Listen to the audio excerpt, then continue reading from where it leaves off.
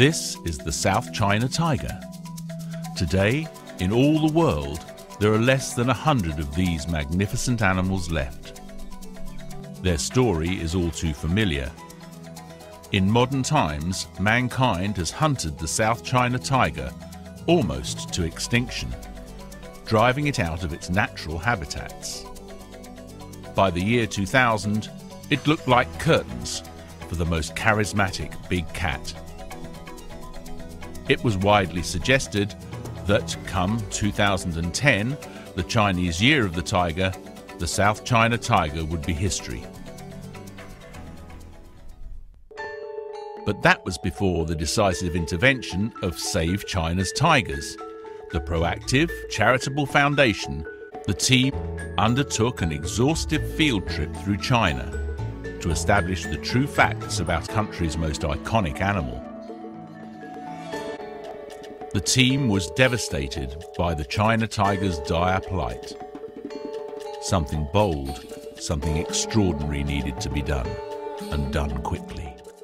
The team persuaded the Chinese authorities to allow to take some of the few remaining South China tigers from Chinese zoos to be rewilded in South Africa as a first step to rehoming them in China.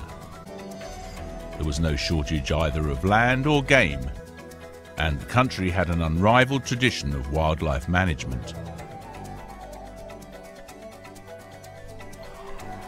The plan was to recreate a natural but secure environment where the translocated zoo-born tigers could reacquire the survival skills practiced by their ancestors.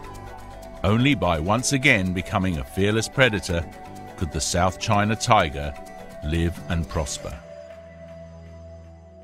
Here at the Lao Hu Valley Reserve in central South Africa, Save China's Tigers began its ambitious work. As the tigers were rewilded, they learnt how to hunt and fend for themselves, and so began breeding. A major triumph came with the birth of Hulu, the first South China tiger cub ever to be born outside China.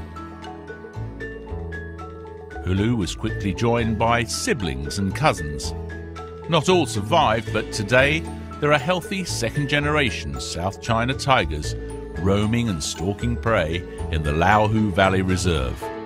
Cub by cub, the colony has grown towards the day when South China tigers can be returned to China itself, not to a zoo, but to restored and protected natural habitat.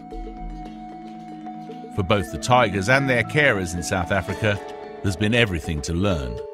Along the way, there have been inevitable heartbreaks, but far more regularly, undiluted joy. As little by little, paw by stealthy paw, the tigers have clawed their way back to survival. The long term survival of the South China tiger is not yet assured, but thanks to Save China's tigers, the prospects are infinitely brighter than they were 10 years ago. Saving biodiversity and restoring natural habitat are the primary objectives of Save China's Tigers. The charity also supports other wildcat conservation initiatives around the world.